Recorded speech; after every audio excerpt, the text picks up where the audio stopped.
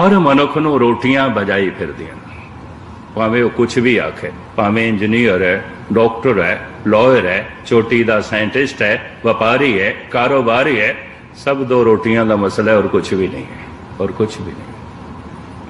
ਬਜਾਈ ਫਿਰਦੀਆਂ ਬਜਾਈ ਫਿਰਦੀਆਂ ਨੇ। ਕਿਉਂ? ਤਨ ਰੋਟੀ ਹੈ। ਇਸ ਤੋਂ ਇਲਾਵਾ ਹੋਰ ਕੁਝ ਵੀ ਨਹੀਂ ਹੈ। ਤਨ ਭੋਜਨ ਹੈ। ਇਸ ਤੋਂ ਇਲਾਵਾ ਹੋਰ ਕੁਝ ਵੀ ਨਹੀਂ ਹੈ। ਹੁਣ ਮੈਂ ਦੂਜਾ ਨੁਕਤਾ ਬਿਆਨ ਕਰਾਂ ਮਨ ਰੋਟੀ ਨਹੀਂ ਹੈ ਮਨ ਰੋਟੀ ਨਹੀਂ ਹੈ तो फिर की है मन तू जोत स्वरूप है अपना मूल पछन तू जोत स्वरूप है तू रोटी तो नहीं बनया तू परमात्मा तो बनया है तू रकत बिन तो नहीं बनया तू जोत स्वरूप तो बनया है तू मिट्टी तो नहीं बनया तू नूर तो बनया है रोटी मिट्टी तो बनती है ਭੋਜਨ ਮਿੱਟੀ ਤੋਂ ਬਣਦਾ ਹੈ, ਜ਼ਮੀਨ ਤੋਂ ਬਣਦਾ ਹੈ। ਇਹ ਤਨ ਤੋਂ ਮਿੱਟੀ ਤੋਂ ਬਣਿਆ ਹੈ। ਮਾਟੀ ਕੋ ਪੁੱਤਰੋ, ਕੈਸੇ ਨਚਤ ਹੈ। ਦੇਖੇ ਦੇਖੇ ਸੁਨੇ ਬੋਲੇ ਦੌਰੇ ਦੌਰਿਓ ਫਿਰਤ ਹੈ। ਪਰ ਇਹ ਮਨ ਮਨ ਤੂੰ ਜੋਤ ਸਰੂਪ ਹੈ। ਆਪਣਾ ਮੂਲ ਪਛਾਣ।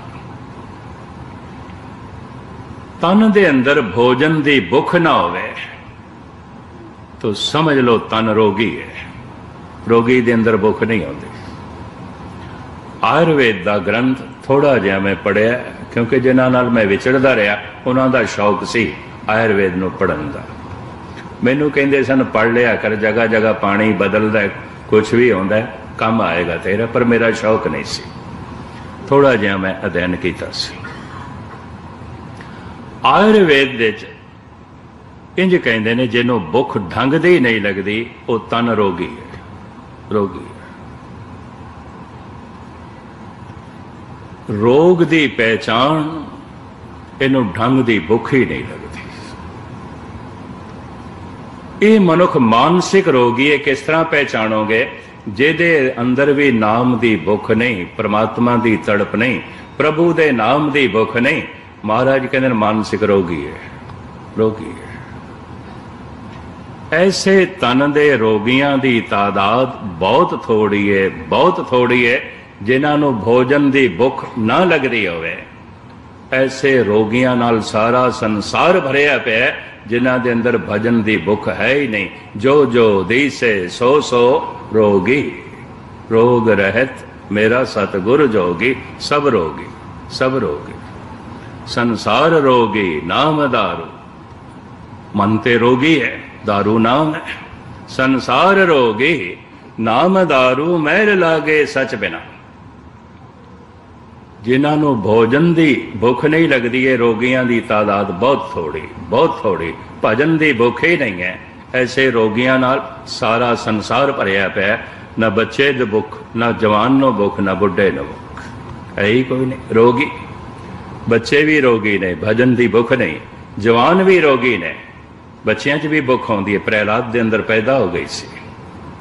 ਧਰੂ ਦੇ ਅੰਦਰ ਪੈਦਾ ਹੋ ਗਈ ਸੀ। ਜ਼ਰਾ ਧੰਨ ਗੁਰੂ ਗੋਬਿੰਦ ਸਿੰਘ ਜੀ ਮਹਾਰਾਜ ਦੇ ਮਾਸੂਮ ਲਾਲਡੇ ਤੇ ਦੇਖੋ, ਕਿਤਨੀ ਰੱਬੀ ਤੜਪ ਰੱਖਦੇ ਨੇ। ਧੰਨ ਗੁਰੂ ਹਰਕ੍ਰਿਸ਼ਨ ਜੀ ਮਹਾਰਾਜ ਨੂੰ ਦੇਖ ਲਓ। ਸਾਡੇ 5 ਸਾਲ ਦੀ ਉਮਰ ਹੈ, ਗੁਰੂ ਨਾਨਕ ਦੀ ਗੱਦੀ ਦੇ ਵਾਰਿਸ ਨੇ। ਇਹ ਉਮਰ ਦੀ ਗੱਲ ਨਹੀਂ ਹੈ। ਜੇ ਬੱਚੇ ਨੂੰ ਭੋਜਨ ਚਾਹੀਦਾ ਹੈ, ਬੱਚੇ ਨੂੰ ਭਜਨ ਵੀ ਚਾਹੀਦਾ ਹੈ। ਜਵਾਨ ਨੂੰ ਭੋਜਨ ਚਾਹੀਦਾ ਹੈ, ਜਵਾਨ ਨੂੰ ਭਜਨ ਵੀ ਚਾਹੀਦਾ ਹੈ।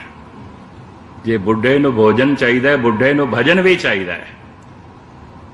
ਉਮਰ ਦੇ ਜਿਸ ਹਿੱਸੇ ਦੇ ਭੋਜਨ ਦੀ ਭੁੱਖ ਨਾ ਲੱਗੇ, ਰੋਗੀ ਹੈ, ਬੱਚਾ ਰੋਗੀ ਹੈ, ਜਵਾਨ ਰੋਗੀ ਹੈ, ਇਹ ਬੁੱਢਾ ਰੋਗੀ ਹੈ।